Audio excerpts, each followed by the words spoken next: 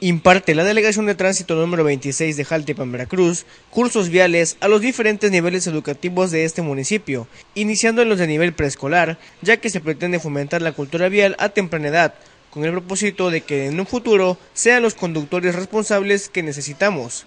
Estos cursos ya se están implementando de manera permanente en todas las escuelas, invitando a los padres de familia a tomar con sus hijos esta educación vial.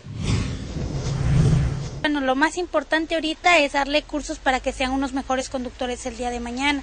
Nuestra prioridad, ¿por qué tocamos ahorita las escuelas? Porque nos hemos dado cuenta de que explicándoles y dándole clases a los niños es más importante crear conciencia en los ciudadanos o por ser niños nos entienden más y comprenden más. Se les ha estado explicando que toda la información que se le den en las escuelas se los lleven a sus papás, como por ejemplo que utilicen el cinturón de seguridad, que no conduzcan bajo el estado de bebidas embriagantes, que traten de no comunicarse telefónicamente mientras se conduce. De acuerdo al reglamento, pues eso se tiene que aplicar, ¿no? Maestros de esta institución mencionan que estos cursos son de vital importancia para que los niños conozcan desde pequeños las principales reglas de tránsito. Es por ello que solicitan que sean de manera frecuente las visitas para que no se pierda la cultura vial.